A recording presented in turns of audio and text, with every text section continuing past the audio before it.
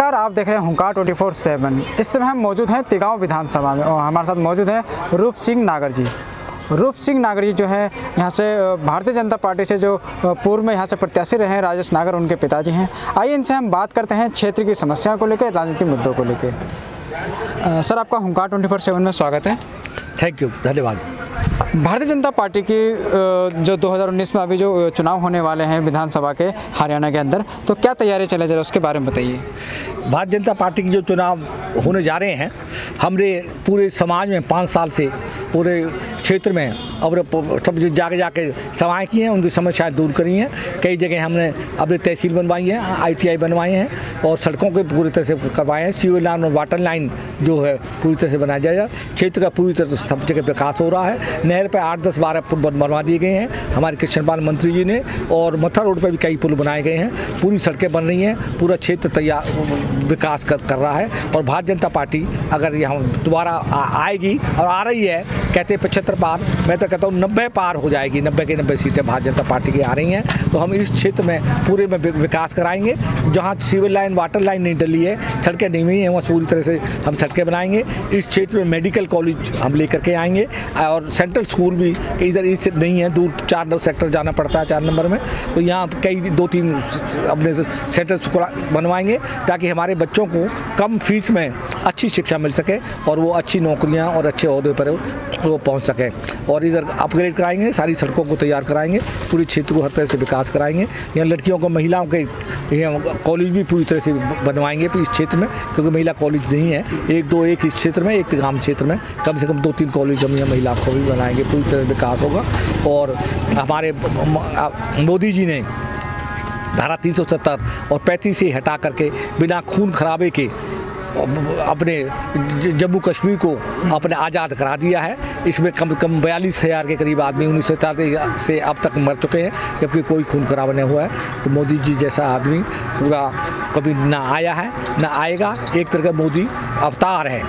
और ये मोदी जी आएँगे तो पूरे तरह से ये हिंदुत्व रा, राज बन जाएगा हिंदुस्तान। पूरी तरह से होगा। वर्तमान विधायक जो है यहाँ के ललित नागर जी जो कांग्रेस पार्टी के हैं वो पिछली बार चुनाव जीते थे यहाँ से और अभी भी वर्तमान में वो जो है यहाँ यहाँ के विधायक हैं।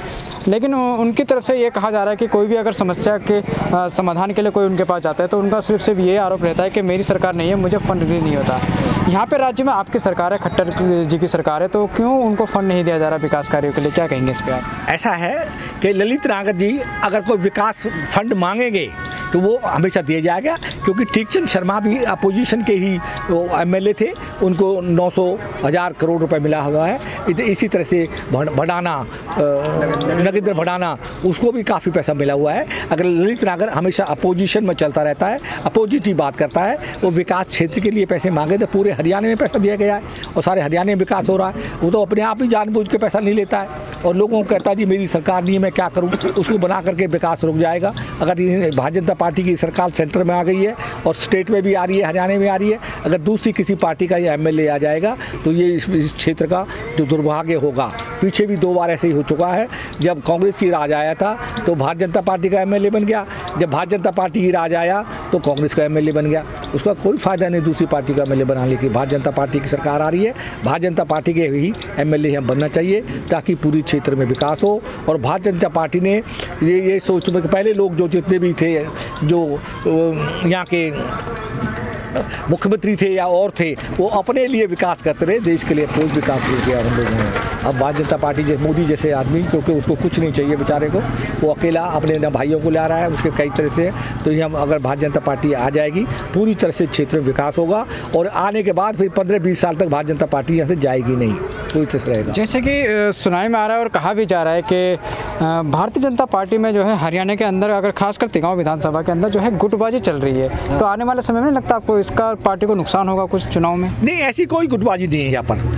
जो भी जिसको भी यहाँ भारतीय जनता पार्टी की टिकट मिल जाएगी एम एल की, उसी के साथ सारे लग जाएँगे, कोई गुटबाजी नहीं है। भारतीय जनता पार्टी में तो गुटबाजी होते नहीं क्योंकि भारतीय जनता पार्टी के जो भी यहाँ राजनीतिक आते हैं, उन्होंने धंधा नहीं बनाते राजनीति को उन्हें कोई कमाई नहीं करनी है उन्हें कोई पैसा नहीं कमाना है इस तरह से। तो यह कोई गुटबाजी नहीं है, ना रहेगी, ना है कोई इस तरह से। जो भी आएगा, उसके साथ दिया जाएगा एम जैसे कि अभी देखा जा रहा है कि फरीदाबाद के अंदर जो है अपराध चरम सीमा पर है। अभी हाल ही में आपने भी सुना होगा कांग्रेसी एक ने, नेता को गोली मार दी गई दिन दहाड़े।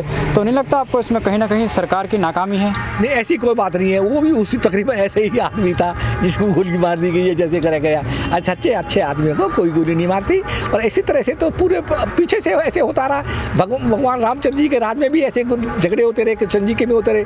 कृष्ण जी ज़िंदगी भर दुनिया से लड़ते रहे। महाभारत हुई कुछ और हुई अभी कोई ऐसी बात नहीं है। लुक्का दुक्का कोई होता रहता है वो वो- चक्कर नहीं है कुछ ऐसा। जैसे कि तिगांव विधानसभा के अंदर कृष्णपाल गुर्जर जी के द्वारा काम तो हुए हैं।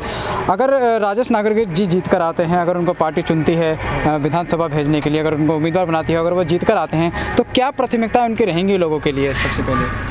सबसे पहले मैं अभी पहले आपको बता दिया है कि यहाँ पूरी तरह से विकास होगा। मेडिकल कॉलेज और अपने सेंट्रल स्कूल और महिला कॉलेज और सड़कों का विकास होगा। तो क्षेत्र में सारी में civil line water line roads वगैरह पूरी होंगी। जिन कॉलोनियों को पास नहीं किया गया, उन कॉलोनियों को पूरी तरह से पास कराया जाएगा। और किसी को भी दुख और परेशानी नहीं उठाई जाएगी। कोई लेन देन पहले लेन देन कुछ नहीं होगा। किसी तरह से कोई रिश्वतखोरी को बिल्कुल बंद कर दिया जाएगा। सारे समाज को सारे बच्चों को हर एक का आदमी को तो किसी भी धर्म का हो किसी भी जाति का हो किसी का पार्टी का हो सबका विकास और सबका साथ ये लिया जाएगा। और पूरी तरह से देश तरक्की करेगा और राजेश नागर के आने के, के बाद में ये क्षेत्र जो है बहुत ज़्यादा तरक्की करेगा। और इस समय हमारे पास राजेश नागर के साथ 80 परसेंट लोग नब्बे परसेंट लोग जो हैं वो राजेश नागर को चाह रहे हैं ताकि इसको टिकट लगे और ये एमएलए मिले, आकर के विकास हो। और पहले भी हम पाँच सात साल से, दस साल से बहुत काम कराए हैं। तेगाम में आईटीआई बनवा दी है हमने और तहसील बनवा दिए तेगाम के अंदर। मैं, अपना मेडिकल कॉलेज को अपग्रेड करा दिया है और मार्केट कमेटी बना दी गई है। और ब्लॉक बना दिया गया है। और इधर भी सारे काम हो रहे हैं। सिविल लाइन वाटर लाइन बनाए तेगाम तेगाम वाटर लाइन सिविल लाइन बन रही है। इस तरह बड़े बड़े कामों में डाला जाएगा और पूरी तरह से क्षेत्र का विकास होगा सबको सुख शांति रहेगी किसी तरह किसी को भी, कोई भी आएगा, किसी धर्म का होगा, किसी जाति का होगा, किसी पार्टी का होगा, सबकी पूरी तरह विकास किए जाएँगे। अभी भी हमारे यहाँ पचास से दो सौ आदमी रोज़ाना घर पे आता है और सबका काम, सबकी बात सुनी जाती है और सबका काम किया जाता है और लोग सब खुश होकर जाते हैं हमसे। ये थे हमारे साथ रूप सिंह नागर जी।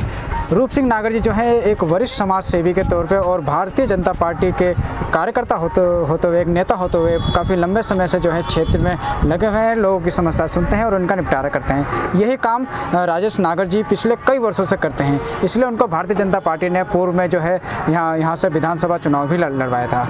अब इनके मुताबिक कहा जा रहा है कि अब की बार भारतीय जनता पार्टी जो है, यहाँ पे 90 की 90 सीटों पे जीतकर वापसी करेगी।